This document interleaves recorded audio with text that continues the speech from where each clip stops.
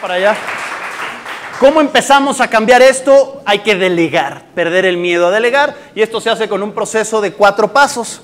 ¿Qué es lo que vamos a hacer? Vamos a poner a la persona que va a ser ahora de mañana en adelante, vas a empezar a buscar una persona que haga tortillas, tú no tienes que volver a hacerlo, y si sigues haciendo y me busques como tu coach, si no quieres cambiar eso. Si quieres que te ayudemos, bienvenido, y te vamos a ayudar a que tengas vida, que disfrutes y que tu negocio crezca. Y esto se hace con esto, ¿no? Cuatro pasos para delegar.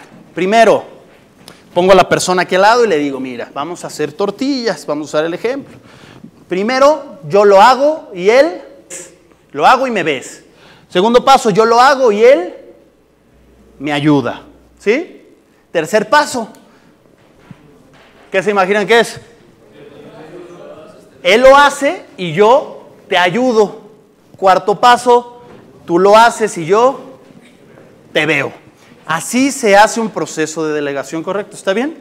¿Me están criticando? Así es, y durante todo el proceso superviso. Pero la gente luego dice, contrato a alguien nuevo, ahí ponlo. ¿No? Ahí ponlo a abrir. Tenemos miedo de que nos roben, de todo esto, porque no hacemos bien las cosas. Hay que hacer, sí, dime.